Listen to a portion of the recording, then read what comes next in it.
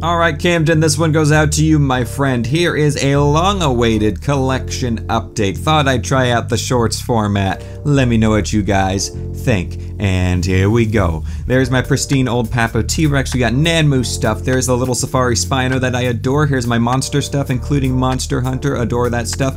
Eofauna, BOTM Ceratopsians. Can't wait to open two more of those soon. There we got PNSO, including the Dangs fish we reviewed.